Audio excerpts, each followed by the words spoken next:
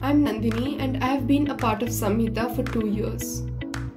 I stepped into the school as an underconfident person with lot of confusions and uncertainties in mind.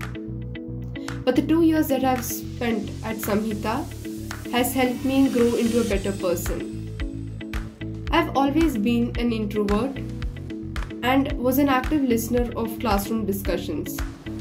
Each and every interaction that I've had in the classroom and with my teachers has definitely shaped me into a better person. My teachers have been a very integral part of my journey. They've constantly supported me academically and have also boosted my morale whenever required.